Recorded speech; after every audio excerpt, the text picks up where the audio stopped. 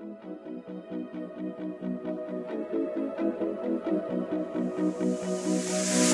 more playing the waiting game. I've grown tired of the same old same. Hello guys, welcome to Wheely Good Vlogs. It's the 12th of October 2017 and I am in London. It's about 7am now and as you know I'm not usually up at such an hour, such an unusual hour. However today is a very special day. I am getting ready to launch in a few hours the hashtag Fight appeal. It's a charity appeal that will hopefully raise awareness of my condition and help sufferers with the condition too by funding research and lots of other stuff. We want to start this campaign big, so what better place to start it than in Parliament? So that's where we're heading to after breakfast and I'm going to bring you guys along with me. Don't really know what's in store for the rest of the day, but hopefully there'll be some media opportunities and hopefully we, we can make a real statement and, and let people know about the condition and try and raise a fair bit of money. So as always guys, thank you for watching. And this is going to be ex an exciting day, so please join me. Forever. And I feel like we already had But you are something that picks me up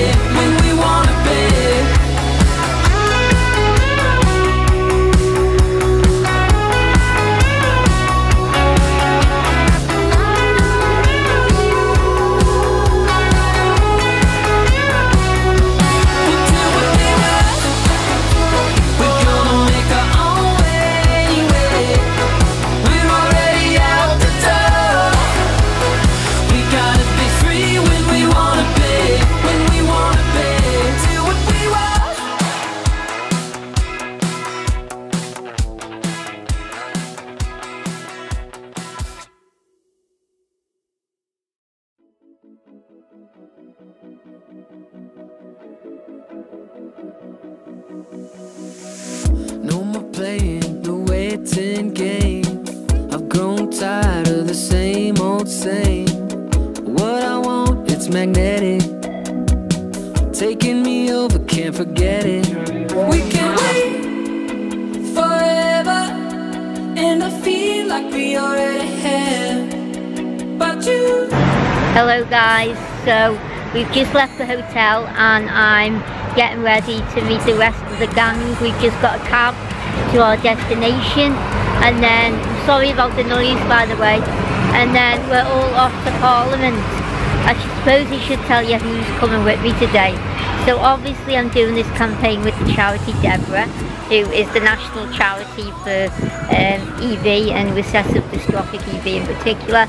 And um, I'm also getting together with my doctor of many years called Professor Gemma Mellerio and me and her will be the ones that going into Parliament and hopefully having a few interviews during the day.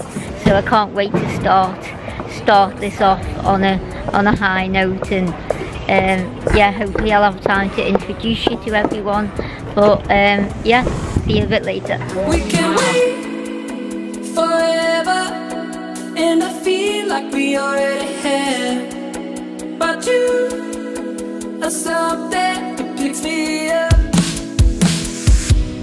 We'll do what we want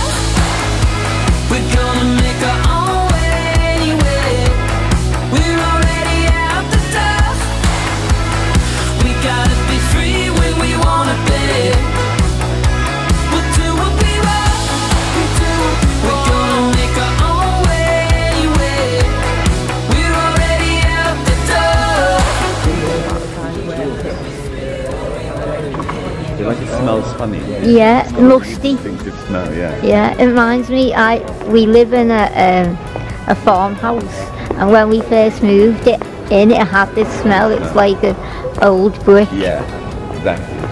Ancientness. Yeah.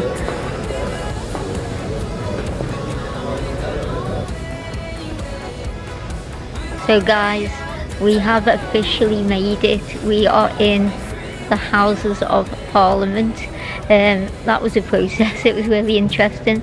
We had to go through security, um, I've, I've word with the policeman. He asks where you're going. Um, scan all our bags. Scan my wheelchair. Um, yeah, this place is pretty secure, and so it should be. So yeah, I'm, I'm excited to meet MP Mary Glindon in a few minutes. But um, it's epic. This place. We're only in um, the first entrance area, and already you can see behind me the old brick walls and the, you know, the high ceilings. It's amazing. I've always wanted to come here, so this is a bit of a dream come true for me. Um, so yeah, it's great. So if I can get some footage further in, I will. But I thought, just in case I can't get any footage, they don't let me film. I'll have to get it out the way. So yeah. So see you in a bit. therapy aren't effective. Um, and so this is going to be a clinical trial, hopefully kicking off in the next month or two, with a new drug. So the work in the lab in the States shows that EB cancer cells are particularly susceptible to this drug called rigosertib.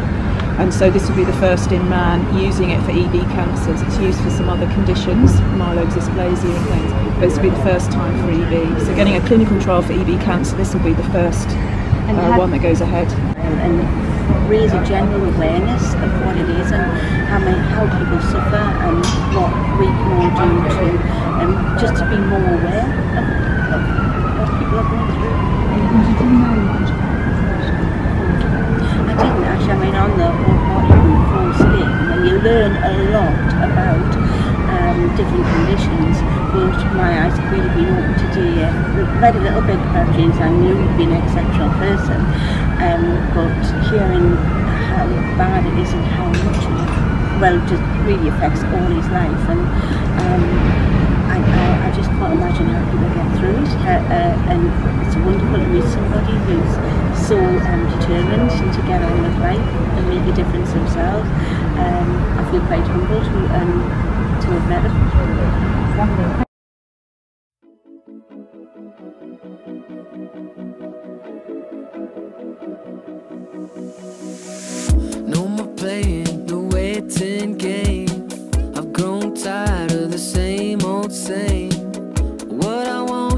magnetic. Taking me over, can't forget it. We can wait forever, and I feel like we already have. But you are something that picks me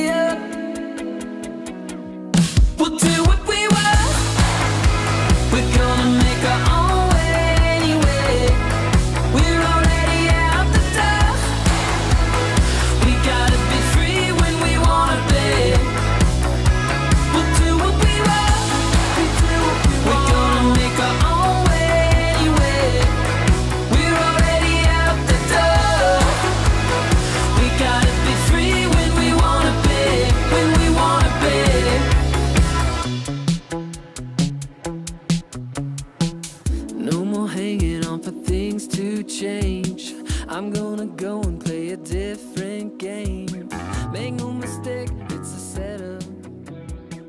Ain't gonna stop, ain't gonna let up. So, here we are, guys. Finally home. Um, it's nearly seven o'clock.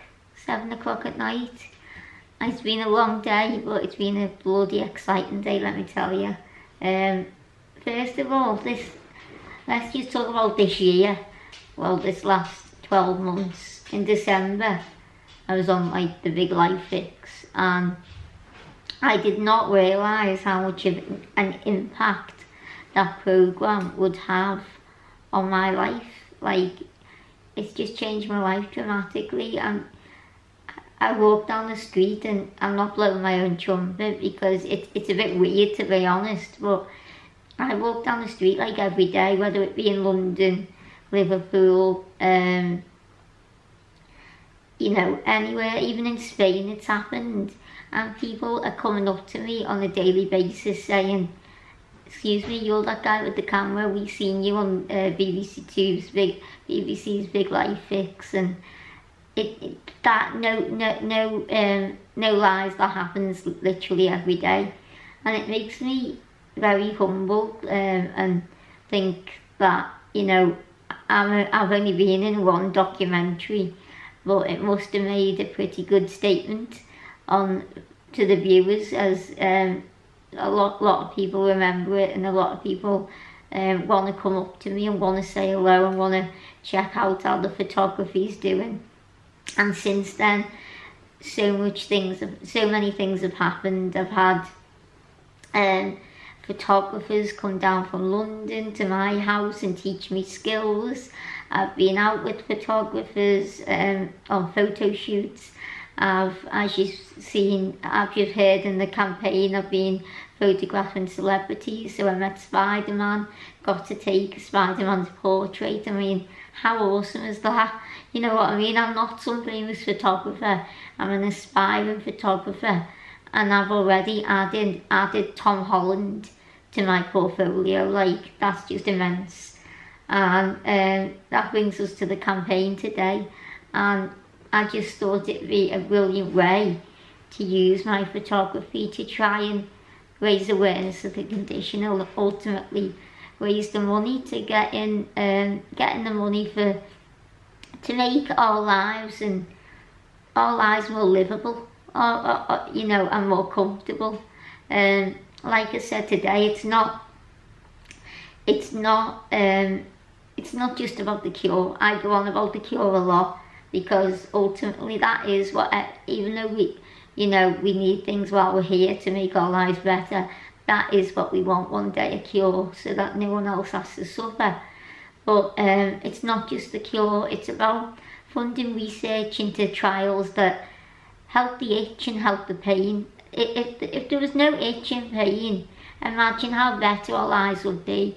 And when I say our lives, I'm speaking to, you know, other people who are watching this with the condition. Imagine how better our lives would be. Um, as you know, it's a vicious circle.